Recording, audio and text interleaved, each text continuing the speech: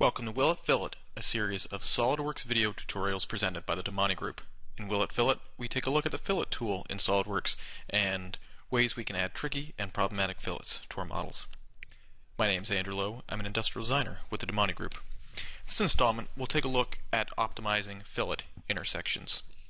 So sometimes the fillet tool can get us 90% of the way there, but we may want to do a little bit of manual cleanup work to get a really nice, smooth aesthetic intersection.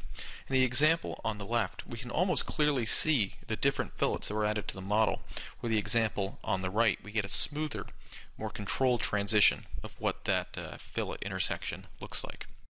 So I'm going to go and fillet this model, and the fillet tool has no problem adding the fillet.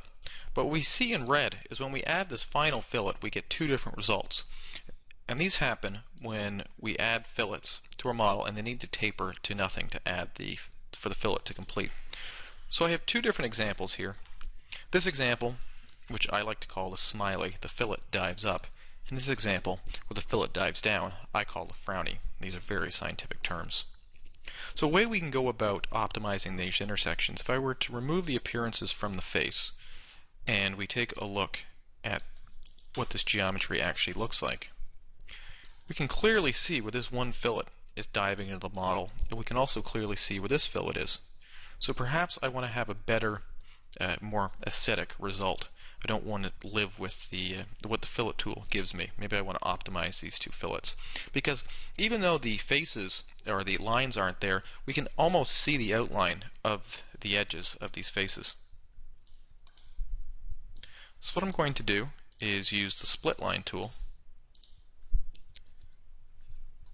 I've just added some splits between these vertices here and here.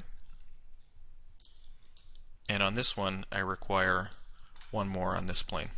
So now that I have a new outline for the, the fillet, I can use the delete face tool to clean up these, these intersections. I'll use delete and fill and note that this is a much cleaner result.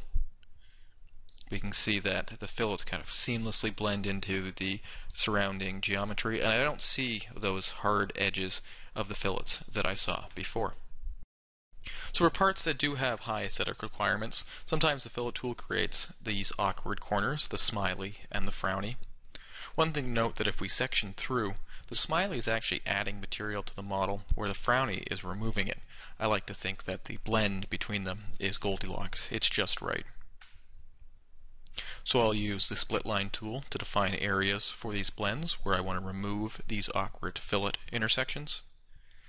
And I'll use delete face to remove them. Here I've taken the same part and applied a highly reflective black finish to it and set the environment to strip lighting to, to really see how the reflections jump off this part. So we can see the one fillet where the reflect where the light's hitting, we can still see that that sharp point where that fillet comes in. We can see that sharp point where this the frowny dives in. However, if we look at the uh, blended transition, we can see that the, the light flows a lot more smoothly through these transitions.